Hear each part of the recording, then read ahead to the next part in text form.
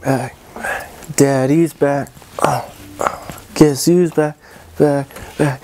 Daddy. Oh, didn't see you there. I'm Levi. We're about to hit you up, teach you some info on the Capita Navigator. Because you don't know anything about it because you're dumb. These two boards, they come in two different colors. The white creamy one comes in a 147 and a 151. And basically the darker color here comes in the 158, 161, and 164. They're not specifically men and women's boards, but the smaller one definitely has a more feminine feel. The Navigator is a powder destroyer. It's got a parabolic side cut, which helps you carve way harder.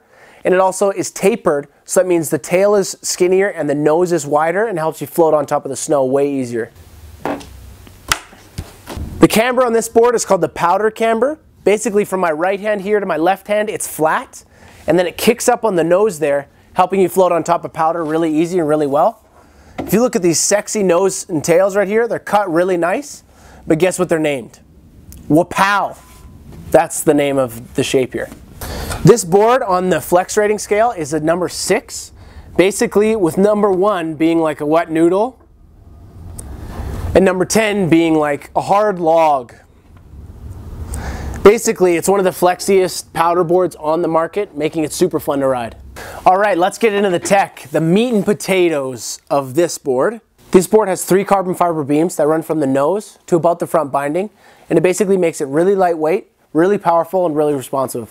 This snowboard was made at the mother mothership factory. You want to know about trees? They know about it. It's the most environmentally friendly snowboard factory on this planet.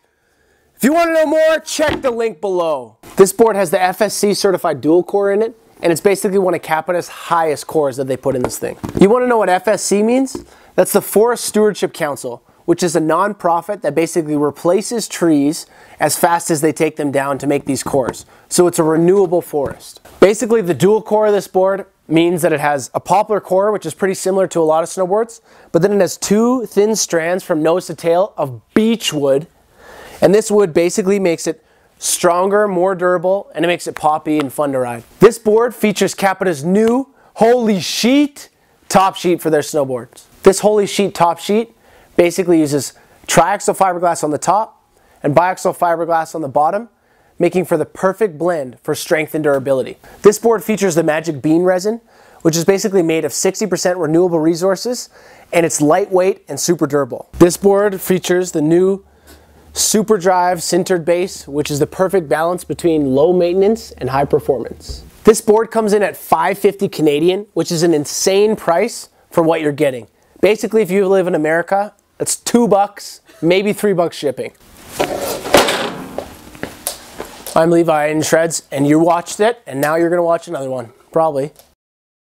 Living in this country is about indoor skate parks and food. Because seriously, man, snowboarding sucks and I hate it.